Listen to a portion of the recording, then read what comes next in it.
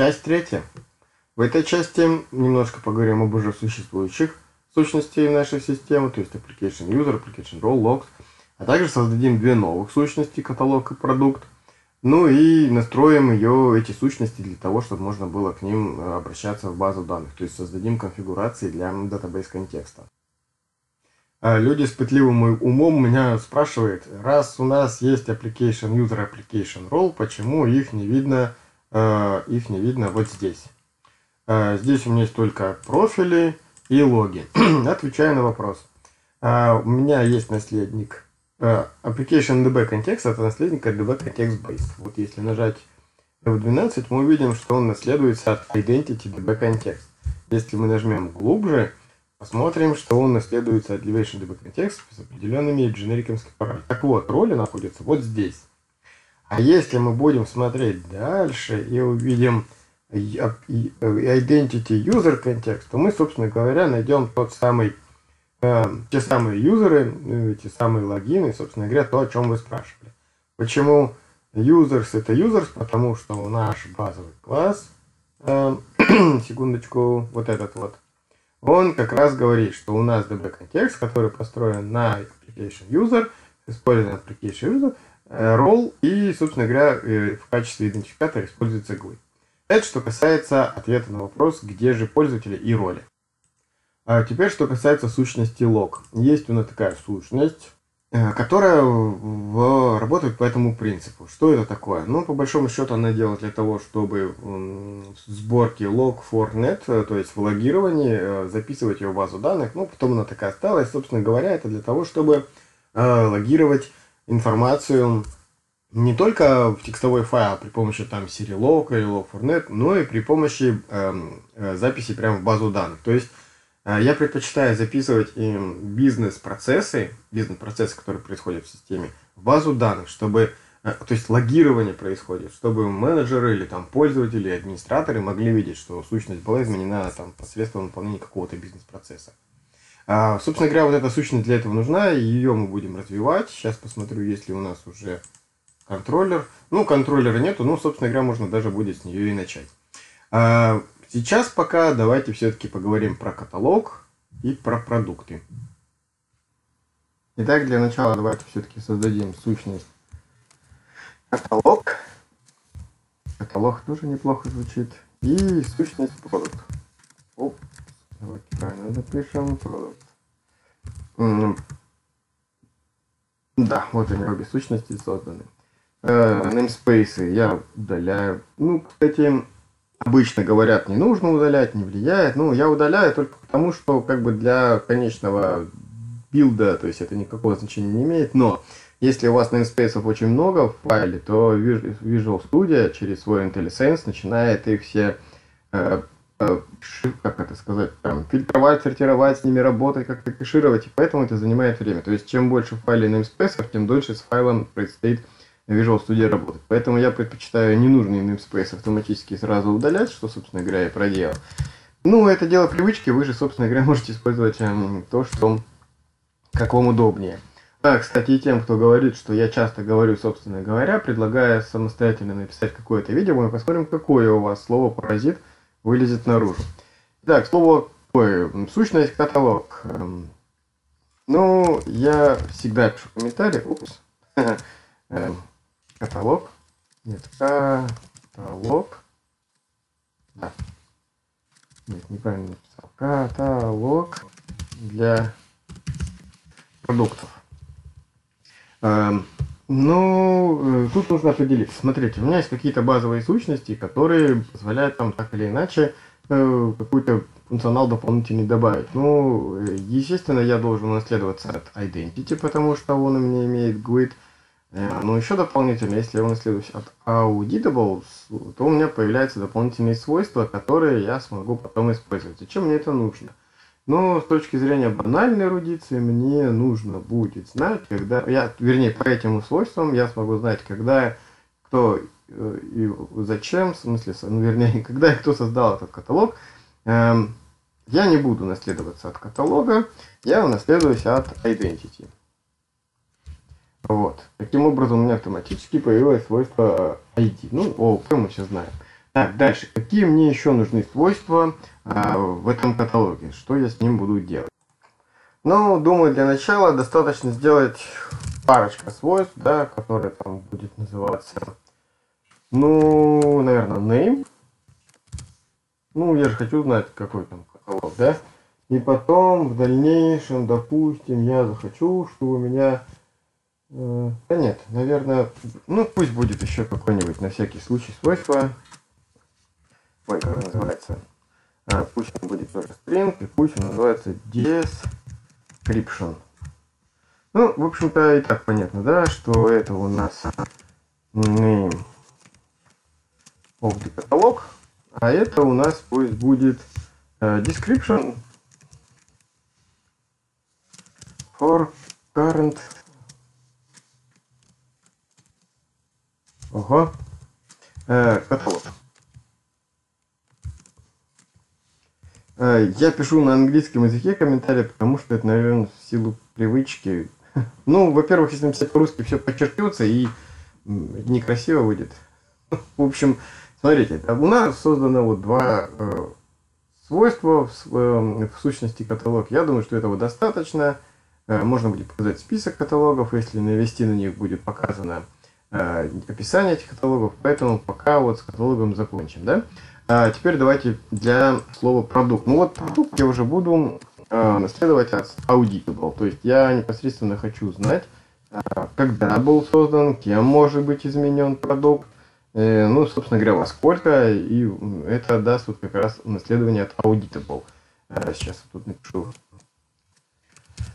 а, пусть будет вот так. Продукт будет продуктом. Так, все у нас там с прессами нормально. Ну, теперь нужно подумать, какие у продукта может быть свойства. Ну, первым делом, как известно, ну, name, да, то есть у продукта обязательно название какое-то должно быть, по которому мы будем потом показывать его, эм, отображать, собственно говоря, может быть, даже фильтровать и искать.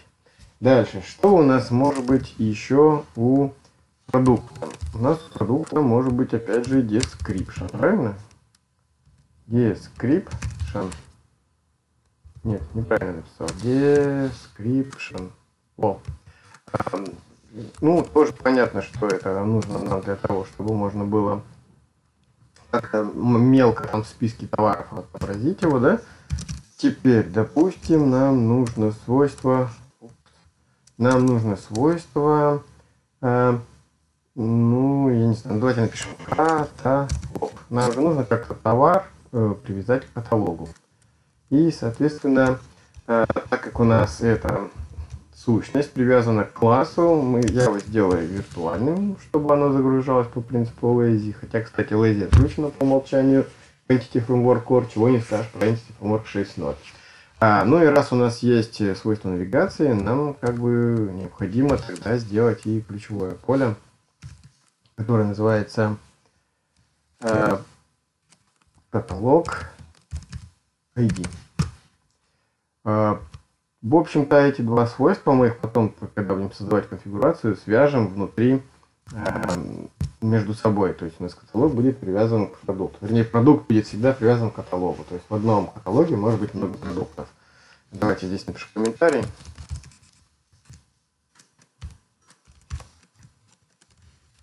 Вот. Ну и здесь, наверное. Тут нужно просто написать, что это каталог. И что-то неправильно. Каталог. А, так, ну что еще у нас может быть продукта? Я думаю, что у продукта должна быть цена. Как вы думаете, должна, нет? А, цена, ну пусть у нас там копейками вряд ли, пусть будет интовая, да? Ну, я думаю, что это будет... Вы, в принципе, можете создать какую хотите а, у вас цену. Price. Вот. А что еще у нас э, должно быть продукте? Ну, я не знаю, наверное, какой какой-то какой-то стринг, который какой-то, я не знаю, ну, наверное, хотя, может быть, наверное, хватит для начала. Главное понять как, а потом зато получится делать миграции. Ну, хотя, что у нас еще? Ну, давайте пока больше ничего не будем. И это зато будет поводом, если вдруг что-то придется добавлять, дополнительно показать, как используются миграции. Итак, существует у нас теперь каталог и продукты, и надо теперь э, как их законфигурировать, потому что если по умолчанию э, эти, эти сущности втыкнуть, воткнуть э, в application DB контекст, у них будет слово name максимальная длина, слово, ну, в общем, понятно, да, что micro, э, Entity Framework поставит значение по умолчанию для всех параметров системы. Итак, давайте сейчас переключимся. Нас? Вот они, конфигурации. Э, я уже говорил, что у нас есть auditable и identity. Смотрите, это частный случай как раз, о, хороший случай показать, что каталог у нас это identity, продукты auditable, отлично. Давайте тогда создадим новую конфигурацию. Итак, здесь опять очередное, э, очередная договоренность. Я делаю обычно так, называю каталог, а дальше, если это модуль, э, модель configuration, то я так и дописываю. Model configuration. В общем-то, это дает возможность очень быстро, например, смотрите, Model Configuration. Видите, все сразу модели Configuration здесь.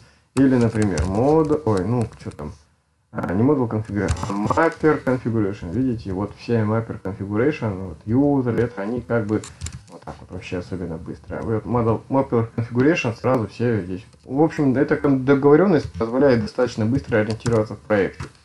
А, собственно говоря, вам предлагаю сделать то же самое. Ну и для того, чтобы время не терять, давайте вот так вот скопируем а, описание. Оно везде одинаковое, за исключением того Entity Module for. Давайте даже вот так вот сделаем. Мы можем сказать, что это у нас ката... Не-не-не, вот так вот это делается. C каталог. Вот. И у меня автоматически когда появляется надпись, она будет подменяться, то есть именование сущности будет подменяться, если вдруг ее переименую. В общем, а, дальше. Раз у меня каталог, вот он каталог, унаследует от identity, то в данном, в моем э, вот этом фреймворке я его должен унаследовать от identity. Как-то тут есть такой модул где он, mapper, mapper, вот, model configuration base. Сюда, соответственно, я подставляю каталог. Э, ой, что она мне так сказала? Model каталог. Ага, все понятно. Ну, в общем-то, э, вот почему naming convention очень важно. Это как раз очень хороший пример сказать, что не так. Смотрите, у меня есть свойство, э, у меня есть э, каталог сущность, и у меня название namespace включает каталог, видно, да? И из-за этого, ну, Microsoft, конечно, хорошая штука. Вот он начинает подставлять, чтобы у меня каталог не совпадал с namespace. В общем, предлагаю слово каталог переименовать в категории. А заодно проверим, как сработает вот это переименование. Итак, я иду, э, где у нас, каталог. Я пользуюсь решарпером. Э, вот, поэтому мне достаточно просто будет категорий. Вот, переименовать все, все сущности. Ну, собственно говоря, вот это вот сейчас и происходит. Так, теперь давайте, да, посмотрим. У нас категория переименовалась. А, Где-то, то есть у нас есть, как, как, как, как, сейчас один момент, один момент, смотрю, категория переименовался файл. Давайте посмотрим референции все на нее. Вот у меня модуль конфигурации. Да, тут, а вот тут не переименовалась. Ну, ладно. Наверное, потому что она все-таки думает, что это у нас сущность. И, собственно говоря, получается у нас вот такая вот штука. А, да, теперь как бы продолжим, да, как будто бы у нас изначально были категории. Я унаследовался от Identity Mode Configuration. Меня просит ReSharper сделать имплементации тех методов, которые внутри есть. Я говорю, да, имплементирую. И здесь мы видим, прошу прощения, э, название таблицы, под которой это категория. Я называю название таблицы у меня будет в SQL сервере категория. Ну а здесь давайте посмотрим, что у нас есть в Identity. В Identity у нас по умолчанию создаются map на таблицу, э, ключевой э, ID, то есть в которой, собственно говоря, у нас есть и он показывает, что он required, и дальше есть метод builder, который мы вот здесь вот, вот как раз имплементируем. То есть у нас ID, э, .id, то есть свойство, не нужно конфигурировать, потому что оно конфигурировано выше. Ну, значит, мне нужно законфигурировать, если так можно выразиться, остальные два свойства. Вот ID уже готов. Давайте вот name. Эм, мы скажем, что name это у нас эм, небольшое поле, пусть оно имеет длину 50 символов. Ну, допустим, в моем валидации это будет символ, и это будет свойство э, обязательное. Ну, потому что не может у меня каталога быть без нейма, но это на самом деле как бы нереально, да? Вот. А description, description, ну, давайте его сделаем побольше размером. Ну, пусть будет там 1024 символа. Не знаю, я всегда стараюсь кратно как-то там вот это прийти. Ну, привычка, дело страшное.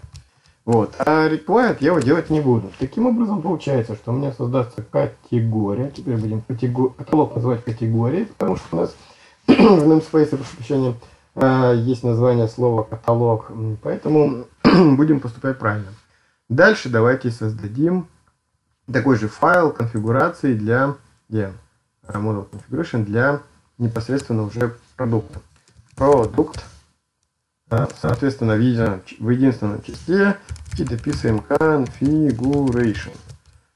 Точка C Вот. Так как у меня продукт наследован от э, auditable, ну, соответственно, мне нужно будет auditable э, использовать. Auditable config, model configuration base. Здесь, соответственно, добавляю э, собственно говоря, продукт.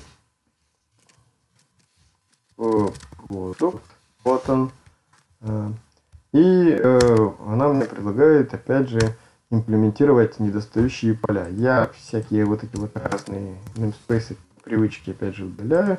Э, здесь я сделаю копировать. Не люблю копипаст, конечно, но здесь уже как бы я это контролирую, а контролируемый копипаст это хорошо. А, смотрите, давайте посмотрим, что здесь лежит. У нас здесь есть, опять же, уже базовая имплементация. То есть он у меня унаследован, а, то есть, э, как это, has key, то есть показывает, э, есть у меня ключ, а также те свойства, которые включены в auditable, это created, updated, там, ну вот эти вот все четыре, они уже за, за, запоставлены таким образом, что они уже включены. Эм, в конфигурацию. И надо отметить ваше внимание, обратить внимание, что по умолчанию даты в created by, э, add и updated by, тьфу, и updated add, они подставляются в формате UTC. Если вот эти спецификации уберете, ну, то есть, если вам не нужно UTC, то, собственно говоря, у вас будет э, раскладка э, по времени в вашей локальной среде. Я всегда ставлю UTC, потому что, на самом деле, международные проекты, ну, в общем, ладно, неважно. А, просто имейте в виду, что дата ставится в формате UTC. Итак, у меня здесь уже есть таблица. Давайте сделаем название return.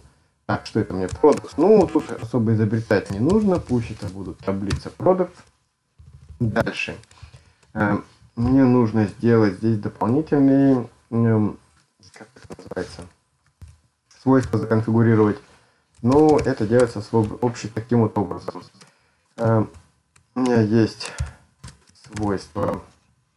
Ну, опять же, давайте там что. Вот они все четыре, name и вот эти задокументированы. Ну, пусть будет тогда начнем с name, да? Uh, name у меня также has максимум length. Ну, пусть будет продукта, допустим, ну, 128 символов. Ну, наверное, так будет правильно. Из required обязательно, потому что у меня не может быть продукта без названия. Дальше я снова description, max required, ну пусть будет там 2048 символов, вы опять же на свое усмотрение можете решать. Я обязательность описания уберу. Дальше у меня есть свойство, которое еще не задокументировано, называется та -та -та -та -та. Ага, вот price. Это уже не имеет длины, но оно у меня, э, ну не знаю, нужно ли его делать обязательным или нет. Эм, давайте не будем его делать обязательным. Более того, я сейчас пойду в сущность и поставлю, что меня здесь int nullable. Ну, в смысле, здесь может значение null появляться. Я его не буду делать nullable, чтобы вам показать, как можно обработать дальше внутри там, э, на UI или еще как-нибудь его значение или там поставить маппинги. Эм, бог с ним, поехали дальше. Так, теперь у меня есть обязательный случай Это каталог, каталог ID. Ага, вот где она не переименовала. Давайте сразу переименуем. Я при помощи решафтера прямо отсюда могу переименовать. Категория ID. Правильно? ID. Вот. Э, да. Э, ну, то есть у меня в любом случае всегда продукт в моей ре э, реализации должен быть привязан непосредственно к категории. Так, ну и ключевой момент, то есть у меня есть категория, и я должен ее тоже как-то обозначить, что она у меня есть. Но это делается немножечко другим способом. Я задание билдера property от э, has one а, данная вот реализации, данной конфигурации, которую я указал, это говорит, что у меня продукт, сущность продукт, имеет обязательно один категорий, который может иметь много. Сейчас скажу. А, здесь ничего не указывается. Который может быть и иметь несколько этот. Здесь в данном варианте я создал связь от продукта до э, категории. А что же касается конфигурации категории, то здесь я могу сделать немножко по-другому, то есть пойти от обратного. Я сейчас просто показываю варианты. Да? Я могу указать э, has many, э, ну, не буду, это я через поставлю. Ой. Вот. И здесь могу указать, ага, а вот он и прикол. Я из-за того, что создал достаточно неправильную конфигурацию, да, я не могу здесь ее э, задать Эм, я сейчас это закомментирую, перейду в каталог категории, ой, в смысле в, категорию, в сущность категории, и теперь ну, мне нужно создать свойство, которое будет называться iCollection, ну вот так принято, и здесь, как вы понимаете. И здесь у меня про э, что это такое? Это называется свойство навигации. То есть когда я буду получать список категорий, который э, будет у меня ассоциироваться э, с главной, то есть центральной, с первичным входом в систему. То есть я могу... Ну ладно, это не важно, об этом потом, если будет интересно. В общем, э, в данном варианте я показываю, что у меня у категории может быть несколько продуктов. Причем они все разные. Каждый продукт имеет свою категорию. Э, Products Collection. Вот. Таким образом, э, связь э, я могу настроить и из каталога, и из продуктов. Да, в правильном варианте, ну, то есть обычно это делается вот таким вот образом. Эм, я говорю, что у меня есть продукты, и этого, в принципе, достаточно. Таким образом, вот эта вот конфигурация, она теоретически не нужна. То есть Microsoft Identity Framework автоматически настроит связи. Поэтому я вот это удалю. То есть для более сложных связей иногда приходит для более сложных, которые могут иметь а, разные зависимости. Иногда приходится указывать несколько вариантов или расширять дополнительными настройками. В данном варианте у меня, в принципе, все готово. Я смотрю, мы уже за время перепрыгнули, поэтому я сейчас по-быстренькому попробую откомпилировать. И, собственно говоря, для этого мне нужно что сделать? Мне нужно зайти вот сюда, вот в этот контекст, это системные штуки. А, также я здесь сделаю такой вот регион, назову его, э, как он пишется, бузинес. Как он пишется, это бизнес entities. Ну, имеется в виду, что бизнес-логика. Здесь я должен написать db set категории, мы теперь ее называем. Оп. Э, шучу. Категория. Она мне подсказывает, это хорошо. И такую же штуку я должен создать для продуктов. А, то есть у меня сущность продукт. Отлично. И она должна мне подсказать. Ну, слава богу. ReSharper в этом смысле достаточно умная штука. Вот. И раз у меня появилась такая Э, в интерфейсе, мне, соответственно, нужно их имплементировать уже э, в этом. Единственный минус, что вот эта штука не вынесла все это э, в регион. Я это, извиняюсь, я это делаю, чтобы, потому что когда достаточно большой проект, очень сложно искать Ой, что-то я неправильно написал. Бизнес. MT. Ну да, когда спешишь, получается обычная фигня. Поэтому рекомендую вам не спешить. Так, вот давайте лишнее удалим, что-то тут уже совсем все лишнее потерял. Вот, таким образом, сейчас, если я запущу систему, меня, ну, ничего хорошего не выйдет. А, мне нужно создать миграцию. Для этого э, я вот этот вот Package Console Manager, найти его можно вот здесь. Tools, Package Console Manager, вот он. И теперь я должен написать миграцию. Ну, для начала должен указать, в каком проекте находится моя, собственно говоря, база данных. И теперь я пишу эм, add migration. Если нажму табуляцию, она мне подставит. Эта миграция будет называться category and product. Я рекомендую называть правильно. Ну, потому что иногда по миграции можно очень много почитать, даже по ее названию. То есть, что было добавлено или изменено, или как изменилась база. В общем, я именно вот таким способом. А здесь, собственно говоря, вы видите уже сгенерированный код для миграции. Здесь так понятно, что у нас появляется новая таблица категорий, появляется новая таблица продукты, здесь задаются таблицы, здесь задаются форенки, то есть в смысле связи. И на, на down, то есть если я вдруг буду откатываться, мне эти таблицы просто тупо удалятся. Ну и теперь опять же секретный секрет. Я напишу здесь update database. И база моя, собственно говоря, должна обновиться. А здесь так и произошло. Так, а давайте посмотрим, куда, куда эта база-то у нас записалась-то. Ага. О, название микросервис. Ну, мне не, не нравится это название, я вот хочу вам показать. А, ну да, точно, вот микросервис. А, а давайте я вам вот что покажу. Я сейчас возьму вот эту базу и удалю без созрения, так сказать, совести. Теперь я здесь напишу э, каталог. Ну да, каталог db. Пусть она так называется. И теперь, если я ну, нажму, во-первых, сохранить все изменения. И сделаю теперь вот просто update database. Вы не поверите, но база создастся абсолютно новая, с абсолютно новым названием и с абсолютно, опять же, те же самыми сущностями, которые были в той базе. Э, грубо говоря, сам Entity Framework использует базу данных только как хранилище, ничего больше. Это на самом деле в некоторых моментах очень... Да что в некоторых? Это всегда очень удобно, потому что... Эм, потому что Потому что вся бизнес-логика находится на стороне C-Sharp, а значит покрывается тестами, может быть записана в Git, то есть отслеживается версионно. Но, в общем-то, все то же самое, что я сказал.